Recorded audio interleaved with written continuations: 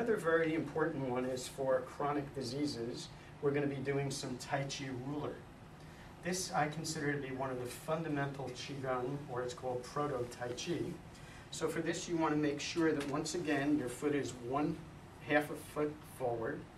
You have some space in between your back, your two back heels before you take your half a step. Then you put all your weight forward and you're going to bend your front knee.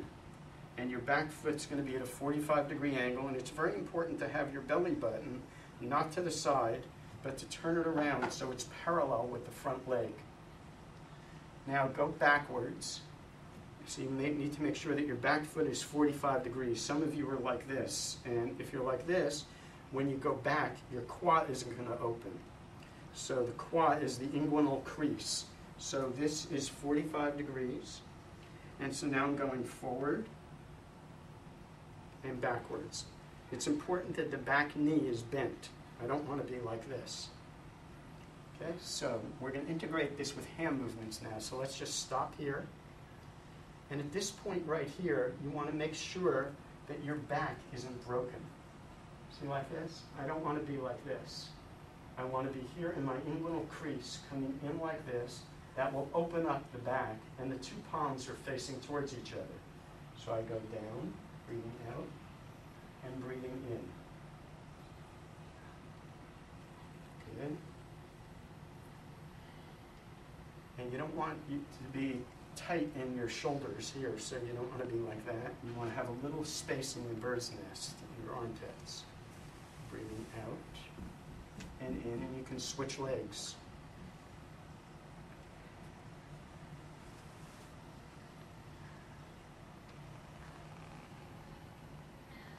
Breathing in and out. So you're letting go and you're taking in letting go of the fresh, letting go of the stale and taking in the fresh. So you're taking in the fresh, letting go of the stale. Now this is very good for chronic diseases or for trauma. It's a very helpful way, you know, to be letting go of things and to re-energize yourself. Bessel van der Kolk, the person I was talking about before, uh, he uses my uh, Body Mind Healing Qigong DVD for the training of trauma patients. Um, and initially he was using model mugging and other kinds of things. And I talked to him about the importance of Qigong and re-empowering people that are victims of crime or whatever in a way that's not going to take their power away. Now this is a very sophisticated method, even though it looks very simple. First, it's a great way to relax and to let go, right? But there's a lot of deeper secrets in it. Let me show you one. For example, normally, let's say somebody's going to come over and punch you you're gonna you see how my energy is rising up and I'm broken in my back? That's what happens energetically when you get a sympathetic fear response. What this is doing is it's taking the sympathetic nervous fear response and see how I'm letting my chi rise. I'm letting the energy, my fear response rise. But right at this point, I'm opening up the lower back. And I'm opening here. So really, I'm in my power at this point. Two palms are facing each other and then you're letting go of it.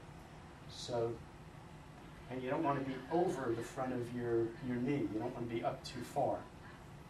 So you're coming up like this, and then back down.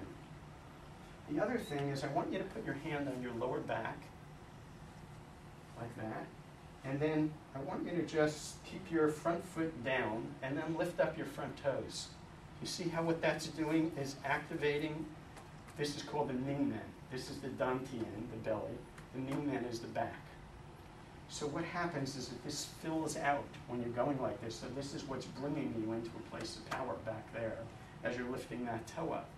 So it's a very simple yet very sophisticated way to give patients or yourself the reversal of the sympathetic nervous system fight-flight response and to turn into a parasympathetic relaxation in your body as you're breathing and letting go. So you can see that there's a lot of really great secrets in Qigong that can add a lot to our work with trauma um, and other kinds of behavioral health care methods.